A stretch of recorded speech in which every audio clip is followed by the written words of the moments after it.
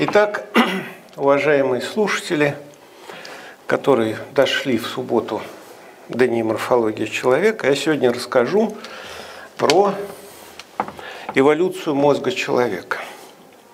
Это всегда забавно, потому что очень много людей сейчас, особенно популяризаторы от религиозных организаций, еще хуже от психологических, еще хуже от антропологических, которые погружены в набор таких иллюзий, которые существуют десятилетиями, а некоторые столетиями. Они, так сказать, заморачивают голову, что иногда э, приводит к очень печальным последствиям. То есть они пытаются заменить э, э, позитивное знание, которое существует, на некий набор духовных, религиозных или социальных иллюзий. На самом деле никаких проблем нет, никаких провалов эволюции не существует. Она очень подробно исследована, и знание о мозге, оно, к нашему несчастью, не предполагает никаких мистических объяснений. Все началось довольно давно, то есть формально около 65 миллионов лет назад, когда наши далекие предки были такие похожи на небольших крысюков, которые вели а, полуподземный образ жизни, активны были ночью. За это мы расплачиваемся в том числе по медицинской части. А именно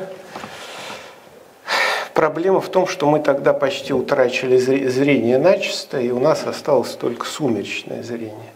И наше зрение по этой причине возникло вторично. Поэтому оно по сравнению с орлами, поэтому в сравнении с птицами и даже рептилиями низшими, оно намного хуже, чем то зрение, которым мы могли бы обладать, не, не было бы истории 65 миллионной летней, летней давности. Но, собственно говоря, человеческий путь, он начался с таких вот небольших существ, с таких вот скелета, их найдено довольно много. Это проплеопитейки. Здесь в данном случае реконструкция черепа. Маленькие существа, значит, где-то в районе 15 килограмм, похожие на современных мартышек. Ну и мозги соответствующие. Здесь мозг вписан в череп, реконструкция. Я ее в свое время делал по многочисленным остаткам отливов этих существ. Им где-то 26-28 миллионов лет. То есть вот с такого убогого начала и началась человеческая история. Она длилась, как вы понимаете, довольно долго. До бипедальности еще было почти 25 миллионов лет. Это все происходило э, на уровне приматов. И кончилось вот нами, в данном случае здесь как раз э, девица пониженной социальной ответственности – Э, умершая от излишеств, но тем не менее ее мозг просто в хорошей сохранности. Обычно у пожилых людей мозг существенно уменьшается. После 50 лет за каждые следующие 10 лет 30 грамм. Так что легчает. Почему? За счет смерти нейронов, особенно для тех, кто головой не пользуется. Поэтому пользуйтесь. Иначе, несмотря на крепкое физическое здоровье, голова может отсутствовать, что мы часто и сталкиваемся с чем у спортсменов. При этом у нас на сегодняшний день каковы параметры человеческие? Ну вот от 670 до 2400 грамм – это обыватели. То есть те, кто населяет эту планету, и 670 грамм – это не то, что какой-то там убогий гражданин. Нет, это член английского парламента. Это нормально. Ну, в парламенте, как вы понимаете, этого достаточно в английском. Но вот есть патологические ситуации. Здесь от 240 грамм до 2800. Ну и у гениев, гениев вот не встречают в больших диапазонах, это 1000 грамм, и на другом конце 2 э, с небольшим килограмма. При этом никаких странностей, никаких сверхъестественных приобретений в мозге человеч человечества нет. Если мы даже посмотрим на современных детенышей и сравним их, например, с проконсулом, которого только что видели, то выяснится, что даже затылочные области, те там самые, которые которыми мы воспринимаем мир, то есть наше зрение, они, в общем-то, похожи. И детеныши 26-28 недель имеют все те же признаки, что и ранние, с небольшим количеством борозда извилин, проконсулы. А если посмотреть на то, что, с чем мы сталкиваемся, то вы увидите вот такую картинку. Австралопитек, с которого все началось, почему все началось с него – не потому, что он такой сладкий и хороший, а потому что на э, выбросах вулканов на пепле найдены многочисленные следовые дорожки, по которым, как вы знаете, опытный Шерлок Холмс может определить рост, вес и, так сказать, а по длине шага и другие особенности. Оставлено много дорожек. Эти дорожки исследованы, и таким образом это не умозрение, а прямое доказательство бипедальности наших австралопитеков. Мозг у них, небось, весь какой, 450 грамм. У шимпанзе, у современного 379, но это в среднем бывает и 450. То есть практически это такое шимпанзе, которое ходило на двух ногах. Современный социальный микроцефал, там много микроцефалий, три вида патологии. Одна из них микроцефалия вера, когда генетических изменений нет, а мозг маленький вот такой, 385 грамм. Ну и взрослого человека 1380 современного. При этом эти мозги, несмотря на все эти разницы в размерах, они все рабочие. У микроцефала, у взрослого человека это все непосредственно связано с социальным поведением. При этом эволюция шла не только по размерам мозга, она шла и по устройству неокортекса. Неокортекс – это то, чем покрыты наши мозги, с бороздами извилинами. Вот реальное соотношение размеров. Здесь номера полей, и самое главное, то, чем считают психологи наивно, думают люди, это лобные области. На самом деле ассоциативные центры – это всего лишь 47-е поле, 48-е поле и десятка – то есть на самом деле для мышления в лобной области у нас очень мало. А вот это письмо, слежение за предметами и прочее, прочее. При этом, как я вам сказал, эволюция шла не только по размерам мозга, но и по конструкции. Обратите внимание на плотности клеточных элементов в коре. Понятно, что от макаки резус, гиббона и шимпанзе у человека самая сложная конструкция – при этом нейроны располагаются намного плотнее. Как же произошло это несчастье, что мы стали, собственно говоря, на две ноги? Дело в том, что всегда вопрос сводится к еде. А что будем есть? Это главное. И вот питание является ключом для биологических адаптаций эволюции мозга. И все было замечательно. Вот реконструкция австралопитека реальная по вот этому черепу. Как видите, челюстной аппарат такой же, как у нас, только челюсть чуть-чуть сведена, они раздвинуты. И вот эти 450 грамм в таком черепе, они, как известно, видите, кончаются вот такой структурой. И они стали бипедальными не от того, что они пошли в поля за корешками, это идиотизм, потому что, сами понимаете, кто же откажется от хорошего богатого леса, чтобы пойти ковырять корешки, где их легко могут поймать любые хищники. Ну, есть такие представления, связанные с трудовой теорией происхождения человека, но поскольку Маркс там сам в человека так и не превратился, с этим трудно согласиться. Значит, как все это происходило? Если посмотреть на западные исследования, то смысл их в том, что они вот выстраивают такие прямые, которые на самом деле кривые. И сейчас найдено огромное количество вариантов, когда масса мозга здесь объем, то есть считайте, умножайте 1,08, а здесь время в миллионах лет. На самом деле вся эта история от австралопитеков до нас длится 4,5 миллиона лет и дало огромное количество разнообразных вариантов. Причем парантропусы – это те, которые питался австралопитеками.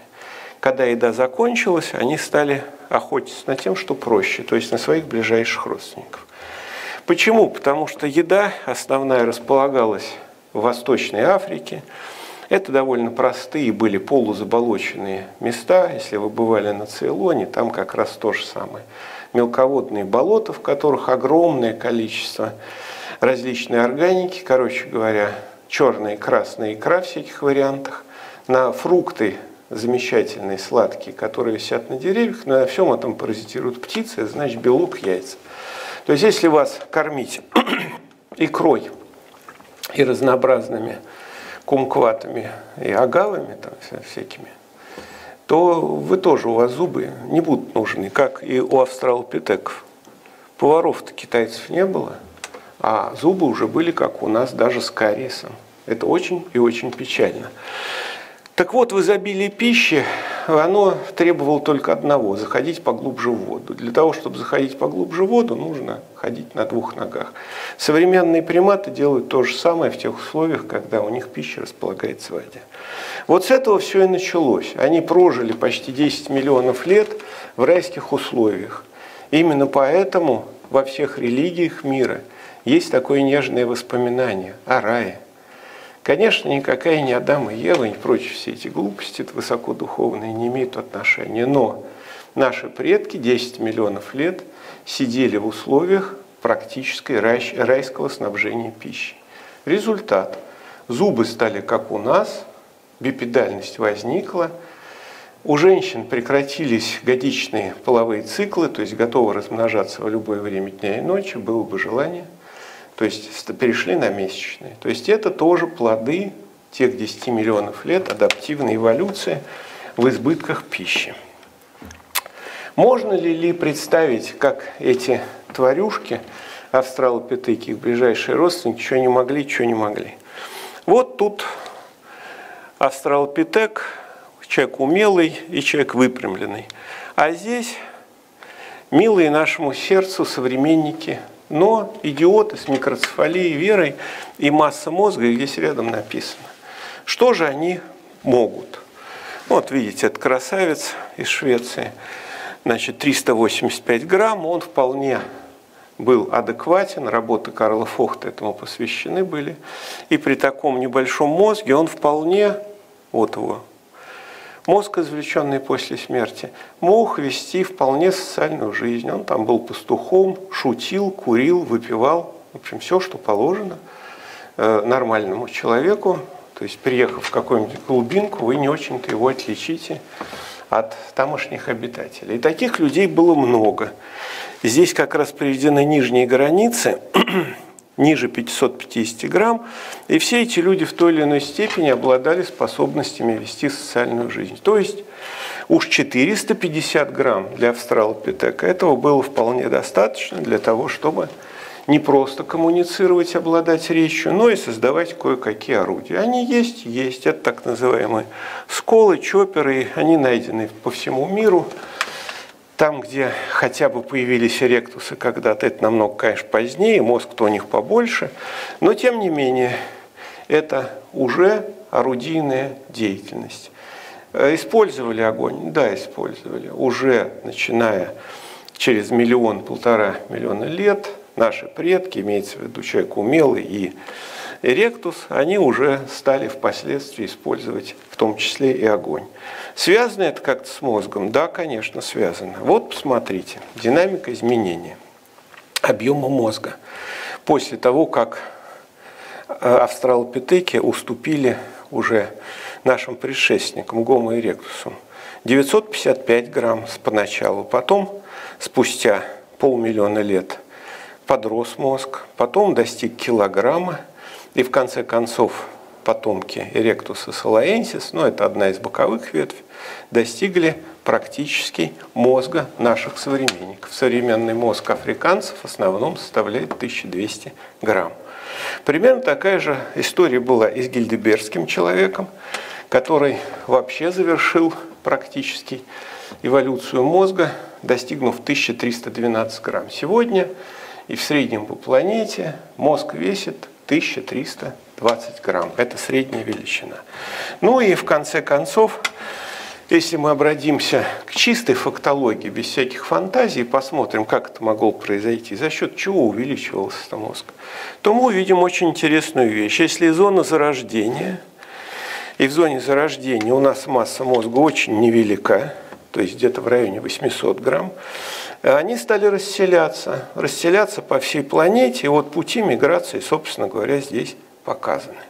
На них отмечены точками массовые находки. Это не единичные случаи. Я даже не буду обсуждать никакого алтайского человека, там обсуждать нечего, поскольку только фрагменты с очень сомнительными генетическими исследованиями. Мы будем обсуждать то, от кого остались черепа. А черепа остались вот от всех, кто здесь перечислен. И смысл, не вдаваясь в детали, стоит в том, что каждый раз при переходе к новому местообитанию у нас почему-то увеличивался мозг. Возникает вопрос, а почему?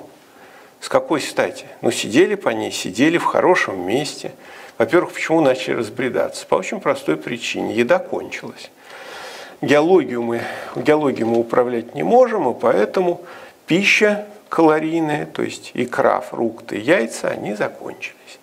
И наши предки стали расползаться по планете, причем и на юг Африки, и на запад Африки, и в Азию, и в Европу, то есть на Кавказ. И расползаясь, почему-то все время увеличивали размер своего мозга. Что случилось-то?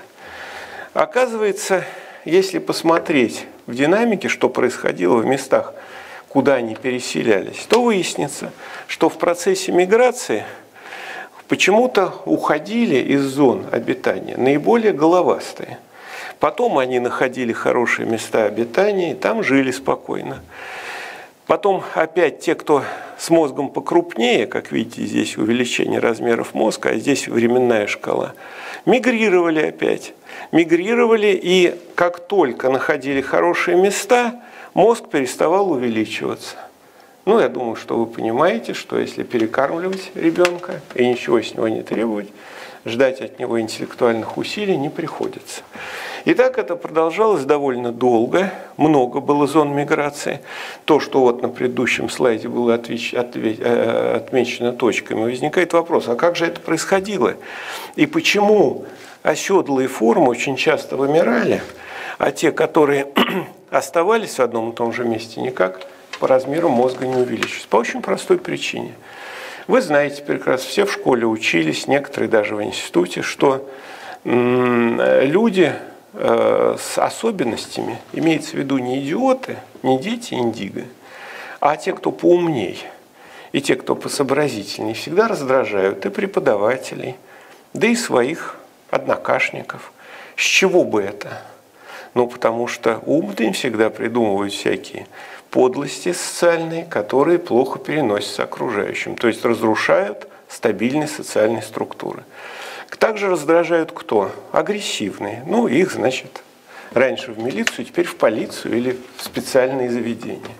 То есть в чем дело? То есть получается агрессивные с одной стороны, а с другой стороны умные.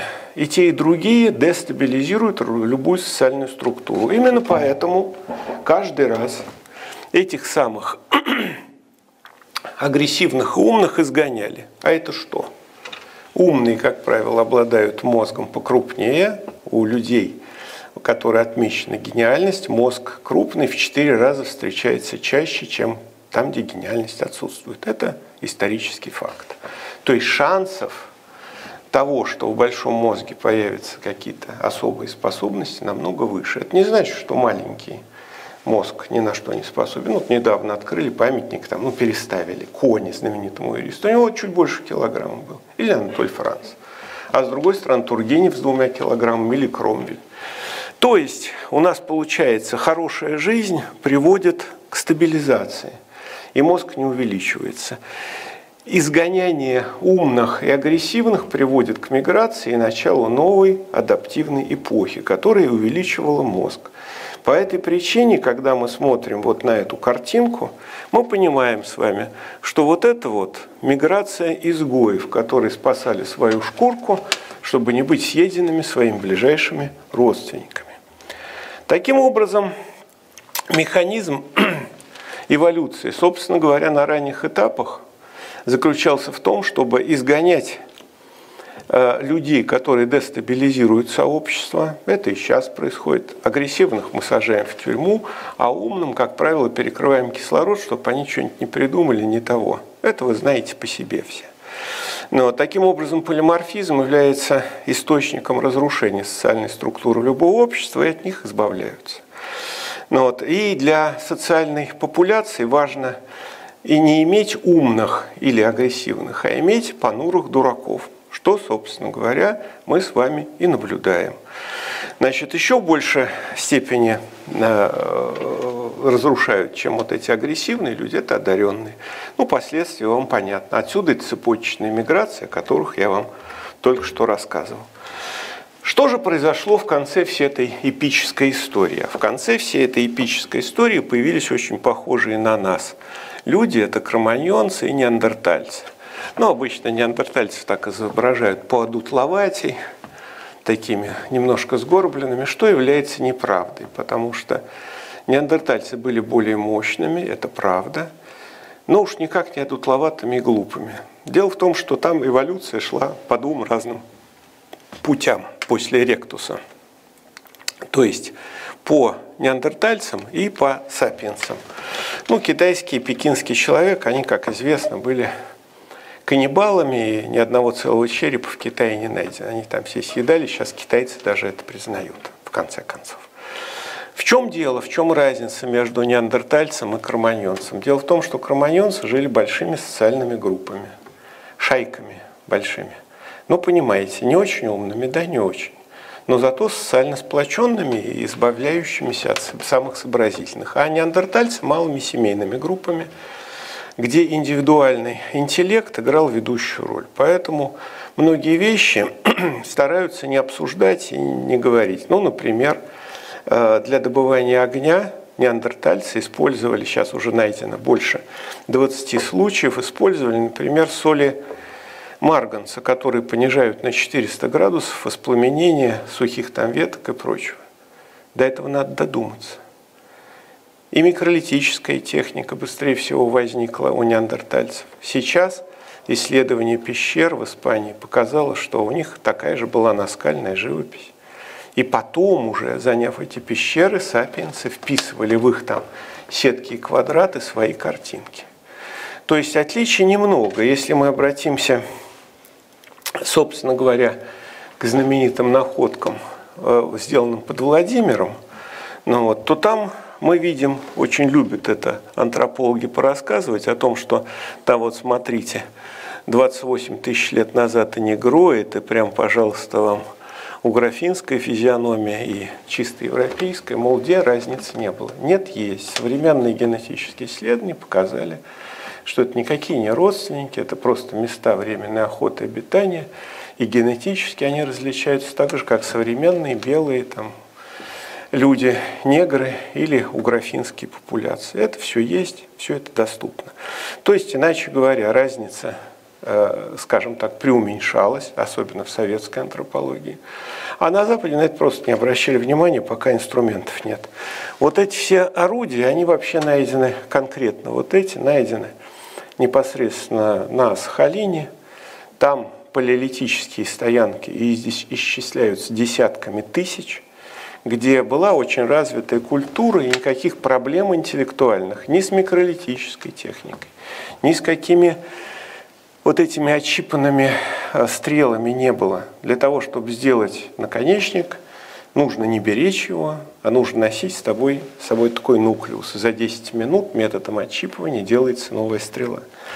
То есть, иначе говоря, к моменту появления реальных сапиенсов современного типа мы имели две популяции.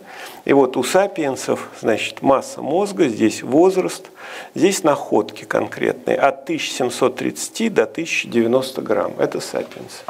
Примерно такую же картину дает и неандертальцы. Дело в том, что на заре всего этого разница была очень невелика, 1564-1547. Это не единичные находки, это массовый материал, потому что даже по австралопитекам на сегодняшний день найдены э, десятки э, взрослых особей и э, достаточно много молодых детенышей, которые в том числе выковырены из известняка, и этот материал весь опубликован, доступен.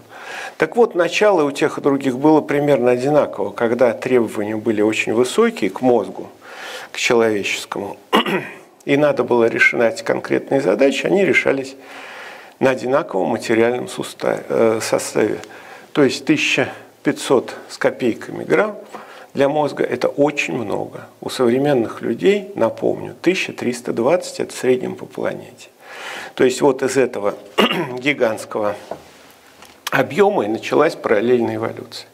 Почему же сапиенсы уничтожили э, неандертальцев? Очень просто. У сапиенсов были большие популяции. Они физически уничтожили малые семейные группы неандертальцев, которые явно были поумнее, явно были предприимчивые, и мозг у них был более развит. Произошло это около 30 тысяч лет назад, и попытки э, нас убедить в том, что там была метисация, что мы имеем гены, значит, она, в общем-то, никчемная. Почему? Потому что митохондриальная ДНК, которую использовали для аргументации таких выводов, она на самом деле очень полиморфна. И внутри каждого человека митохондриальная ДНК в почках, в печени, в легких, в мозгах различается по геному во много раз. Поэтому это не критерии, в настоящее время такие критерии использовать запрещено. А основная ДНК, не митохондриальная, а ядерная, она показывает, что ну, максимум там 2-3%, причем быстрее всего это просто общие корни, поскольку, извините, мы, мальчики отличаются от шимпанзе мальчиков всего на 1% генов, а от девочек на 2%. Так что это, кстати говоря, с точки зрения эволюции не критерий, потому что в генах никакой формы мозга нет, а есть базовые события клеточной пролиферации и дифференцировки, которые имеют косвенное отношение. В результате видите, что произошло.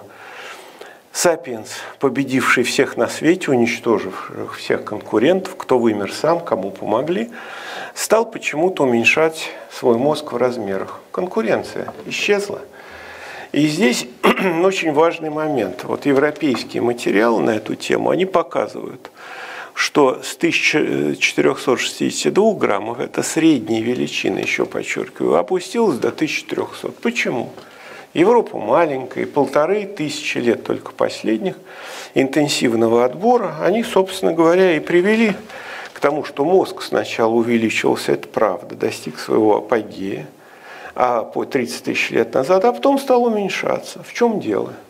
Ценность людей стала измеряться не их интеллектуальными возможностями, а тем, что они могут делать в сообществе, то есть насколько они себя ведут адаптивно.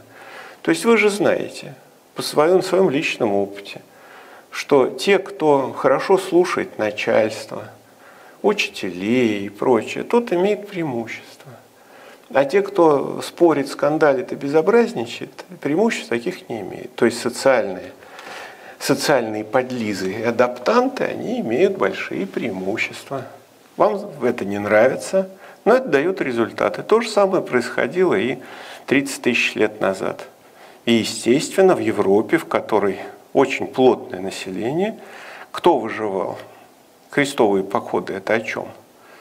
Это внутри Европы же их сначала несколько столетий проводили, а только потом на Ближний Восток пошли. Кто не сдавал деньги, а кто выживал в этих крестовых походах и массовом уничтожении? До 80% населения, кстати говоря. Кто выживал? А выживал тот, кто лучше всего сообщит той же самой Святой Инквизиции, у кого деньги, кто вредит, кто потом воспользуется этими землями, деньгами, всем остальным. То есть развивалась в Европе шел интенсивный эволюционный отбор по механизмам развития предательства, подлости, лицемерия и всего остального. Поэтому в религиозном плане там сейчас такая печальная картина. Но аналогичное было очень сильно развито в Китае, но Китай это отдельная история, поскольку там уничтожение населения в качестве искусственного отбора или церебрального сортинга достигало 30%. Никто никогда таких масштабов самоуничтожения, как в Китае и в окрестных странах, не проводил. Поэтому и результат соответствующий. Творческие личности, их надо беречь и выращивать. Чем больше полиморфизма, тем больше шансов того, что у вас появится талант или гений. Чем меньше полиморфизм, тем, соответственно, однородней популяция, ими хорошо управлять, как в Европе, например, но зато с гениальностью большие проблемы. Секрет весь находится в соотношении структур мозга. Потому что если мы посмотрим на гамадрила на вот, или на орангутана, то вы увидите, что, например, у человека здесь тоже все те же самые поля есть, только они маленькие. И у нас вот эта вот картинка веселенькая на самом деле представляет собой нанесенные на поверхность мозга специализированные поля, которые занимаются тем, что, например, здесь слух, здесь зрение, здесь двигательная координация, здесь сенсомоторная, здесь как раз центры письма, здесь горячо любимые центры речи. Только не надо думать, что вы говорите с помощью зон брака. Артикуляцией управляете, да, но мышление находится вот здесь. На самом деле около 10% лобной области занимаются, собственно говоря, интеллектом. Но если мы посмотрим на обезьянок, то окажется, что вот здесь вот у нас горилла, а здесь человек. И вот посмотрите на ключевые человеческие, 46-е поле сравните, и десяточку – понятно, что здесь разница в десятки раз. То есть сорокократные различия по чисто человеческим полям. Поэтому никакого равенства с обезьянами нет и быть не может. Таким образом, э, эволюция мозга шла не только по размерам, не только по цитоархитектонике, то есть упаковке нейронов в коре, но и по вот этим этим полям, которые являются источником для внутривидовой конкуренции. Таким образом, если посмотреть на эту картину, то окажется, что каждый раз эволюционный отбор шел очень интересным способом. Люди для того, чтобы решать в популяции свои проблемы, отбирали тех, кто больше всего нужен. Приведу пример. Я люблю этот пример, потому что Петр I стал приглашать западных инженеров, навигаторов. Не потому, что проблемы были какие-то в России. Нет, он набрал сначала боярских детей, отправил их учиться. И выяснилось, что освоить арифметику может только 2%. Отбора не было. Оказалось, что богатые бояре могли хорошо тратить родительские деньги, ну и размножаться. Все а для интеллектуальной деятельности они были мало приспособлены. И Петр так и не решил эту проблему. Приглашал иностранцев. Только Екатерина, отменив все иерархические системы, то есть сказав, что можно набирать в навигаторские арифметические школы всех подряд и потом им давать личное дворянство, решила проблему. И сразу в России появилась полноценная армия. То есть отбор шел по определенным способностям которых вот эта вот картинка является одной из ключевых. То есть, поскольку вот эти поля у разных людей могут различаться в 3-5 раз, а по некоторым подполям и в 40 раз. Но и это еще не все, к сожалению, потому что, сейчас к этому придем, потому что эти самые поля и подполя, различаясь в десятки раз, определяют функции человеческого мозга. При этом в мозге человеческом некоторые подполя у одного человека могут быть, а у другого могут не быть. Ну, пример всегда привожу Маяковского, у которого в 47-м поле было подполе, которое больше ни одного человека не нашли. Ну и там много других. У меня есть такая книжка «Изменчивость и гениальность», там можно об этом почитать. То есть между нами не только количественные, многократные различия по мозгу, но и качественные. То есть внутри популяции людей индивидуальные особенности мозга могут доходить до того, что разница между нами будет больше, чем между видами в животном, в живой природе. То есть таким образом попытки договориться, когда мозг конструкционно отличается ни к чему и никогда не приведут. Эта проблема так не решается. Поэтому, собственно говоря, мозг, используя вот эти механизмы отбора, он и э, стал основой самоорганизации. В чем дело? Вопрос только в одном, в перераспределении энергии. Вот здесь картинки, которые показывают с левой стороны то, как происходит в иерархической системе там, императорского типа, А чем дольше она существует, тем больше возникает боковых источников энергии. Никакая обезьяна никогда в жизни выполнять вертикальные обязательства, то есть между вышестоящей системой и ими, не будет. Она будет всегда пытаться создать боковые источники энергии, которые разрушают систему. Поэтому все попытки структурализировать человечество принудительно – с помощью полицейских, специальных служб и прочее, прочее ничего не дают, потому что энергии надо на это затрачивать очень много, и когда баланс нарушается, возникают социальные конфликты по отбору. Кто же отбирается? Посмотрим на XIX век. Как идет такой быстрый человеческий отбор? Почему? Потому что за 4,5 миллиона лет всего-навсего наш мозг увеличился в 4 раза. А животные любой группы, какой бы вы ни взяли, от динозавров и птиц кончая млекопитающими, на все то же самое требуется десятки и сотни миллионов лет. А мы быстренько это сделали. В чем дело? Потому что мы являемся и кроликами подопытными, и мы же отбираем по свойствам. Ну, пример. В начале XIX века начало развиваться инженерное искусство. И что, к чему это привело? это инженерное искусство, о том, что оказалось очень мало людей, способных выполнять инженерные функции. То есть инженеров оказалось воспитывать невозможно. Даже в нашей стране, даже в нашей стране ничего не получалось, несмотря на гигантское разнообразие вариантов конструкции мозга. Трудно было отбирать, но можно. Их стали отбирать с 20-х годов XIX века. И к концу XIX века их уже вырастили три поколения, отобранных почему? По особенностям конструкции мозга. Никто же их по деньгам не отбирал. Способных детей отбирали, создавали условия, воспитывали, они становились инженерами, строили железные дороги, пароходы, все остальное.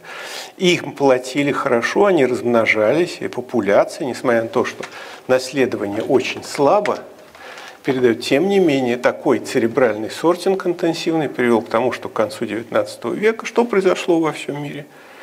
Смена социальной структуры общества. То есть аристократия, которая не обладала ничем, кроме землевладения и денег, была заменена во всем мире. Это называется у коммунистов буржуазными революциями. Ну, у нас то же самое. Посмотрите, кто вокруг Ленина стоит. Одни инженеры. Именно благодаря смене людей во власти, которые, которых заменили те, кто пришел с конструкцией мозга, способные воспринимать инженерное искусство, и был прогресс в нашей стране. И в космос полетели, и все остальное. При этом каждого человека, если уж касаться лично каждого, наш неокортекс, тот самый, которым мы думаем, вот покрытый бороздами и извилинами, он – всячески сопротивляется любой деятельности, поэтому даже самый умный потенциально может оказаться полным дураком и наоборот, потому что только через самореализацию, через труд он может достичь неких результатов. Каких именно? Значит, рассудочная система составляет у нас около 80% нашего мозга. Это то, чем вы думаете, что делать категорически не хочется. А биологические системы, в основе которых лежат биологические сообщества, там лимбическая система всего 10%. Это набор хотелок, половые центры, эмоциональный, гормональный контроль, инстинкты. Это когда ребенок кричит «я хочу», ну, значит, надо драть. Что же делать? А, э, потому что осмысленное поведение э, рождается только в коре. Кстати говоря, оно начинает появляться только после 8-9 лет. Поэтому пытаться что-то добиться от детей до этого возраста, это уже болезненность родителей, а не детей. Они тут ни при чем, у них еще субстрата нет, которым можно думать. И проблема заключается в том, что мощная большая кора очень много потребляет энергии. Наш организм потребляет до 25% энергии, мозг, если начинает думать. 25% от всего организма – это очень много. Поэтому организм всеми способами сопротивляется этому делу. А если он начинает вести как обезьянка, то есть за счет хотелок, то есть лимбическая система, которой всего 10%, то расходов мало. Ну и что получается? Для того, чтобы думать, надо очень много затрачивать мозгом, что мозг делать категорически не хочет. Отсюда лень детская. Отсюда все эти проблемы, которые связаны с образованием и воспитанием. Заставить себя многие вообще ничему не могут. А причина это скрыта в самом мозге. Для того, чтобы экономить энергию, мозг, особенно детей, вырабатывает большое количество специфических веществ, которые вам широко известны. Во-первых, каннабиоиды эндогенные, а у детей еще много опиоидов. Поэтому дети, как только снижают свою рассудочную деятельность, тут же получают каннабиоиды и опиоиды. Ну и кто из детей откажется от пары косячков? Нет, не откажутся. Поэтому заставить их что-то делать почти невозможно. И человек, который, например, ему предлагают зарабатывать деньги, а он их предпочитает воровать, конечно, потому что он еще все время находится под наркозом. То же самое привлекательность самых ортодоксальных и, скажем так, сомнительных социальных религий. В чем дело? Если вы живете по инструкции, не напрягая неокортекс, тот самый с бороздами извилинами, вы спокойненько получаете свою дозу каннабиоидов. Если вы имитируете интеллектуальную деятельность, а не занимаетесь, вы получаете, снижаете энергетические расходы, и сразу же вам эндогенные каннабиоиды. Ну, просто при половом созревании опиоиды начинают вырабатываться в меньшей степени. Поэтому справиться и заставить себя интеллектуально что-то делать очень сложно. И это настоящий подвиг, если кто-то чему-то выучивается и потом вынужден учиться всю жизнь. Не из-за того, что он дурак такой. Нет. Не от того, что у него родители плохие. Просто биологические механизмы управления поведением в нашем мозге, они очень сильны и подкреплены к тому же химическими различными специальными веществами, которые блокируют любую интеллектуальную деятельность. Это печальная история, что приводит, собственно говоря, к тому, что людей так или иначе, если их пустить на волю, они это к замене рассудочной системы, потому что мозг наш не понимает, зачем нужно обезличенное поведение в социальной структуре общества. Он не понимает, почему социальный сортинг в обществе идет негативного типа по пищеварительному принципу, и поэтому начальники, как правило, становятся наиболее биологизированными особями, а другие туда не попадают. Ну вот. И к тому же зачем затрачиваться, платить налоги и прочее, прочее, потому что они же явно идут не туда. А противовес вешается, ну, например, теми же разбойниками и террористами, вешается биологическая система, которая, да, ведет к быстрому эволюционному прогрессу, но она ничего не создаст потому что рискуя погибнуть в эволюционных катастрофах, они зато оказываются в системе вне сложившейся социальной структуры церебрального сортинга. Сложный, тяжелый, а тут ее нет. Ну и простейшая инстинктивная система гарантирует некий личный социальный прогресс. В результате и религиозные, и террористические всякие организации очень эффективны и противоставлять им что-то рассудочное очень сложно. Но кому было интересно, можете почитать «Возникновение мозга человека» в двух томах, а тех, кого заинтересовал, что происходило с человечеством не по законам марксизма-ленинизма, а по механизмам отбора головного мозга, может посмотреть «Церебральный сортинг». На этом я благодарю вас за внимание. Картинкой завершаю торжества человечества в 21 веке.